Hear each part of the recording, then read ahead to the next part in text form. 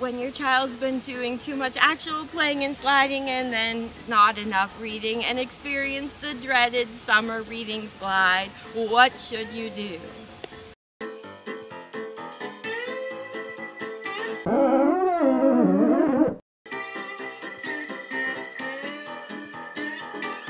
If you want to help your child learn to read, remember hit that subscribe button and the bell so you get the notifications.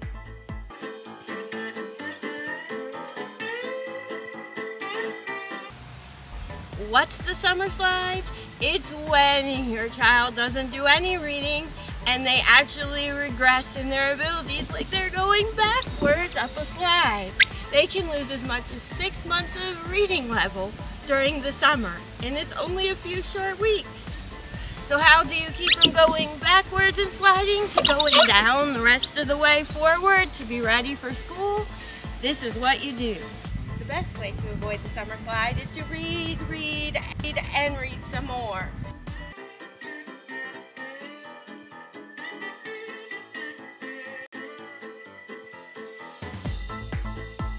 Where can you go to find books to read if you don't want to spend your entire budget on books?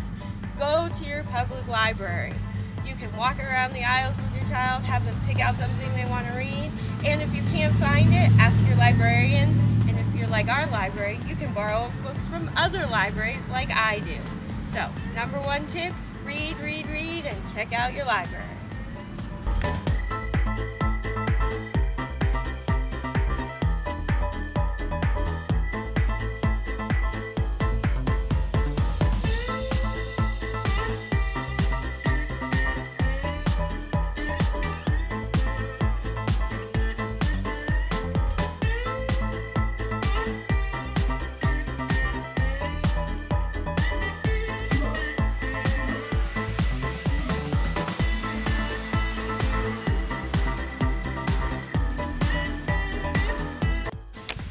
Slide away, remember smash that subscribe button, hit that like button, and click the bell for the notifications so that you get all of our helpful videos. Remember to stay to the end so you can learn how to help your child get ready to go back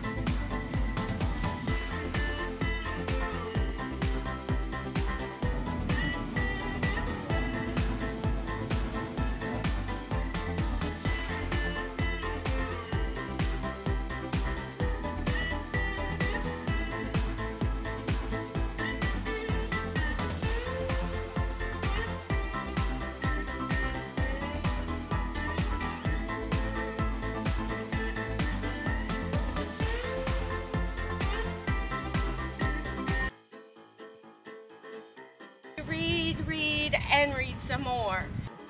What else can you do to help your child learn to read? Remember to join our Facebook group, ask any questions in the comments below, let me know if this works with your child. Thanks for watching and check out some more of our videos that YouTube suggests.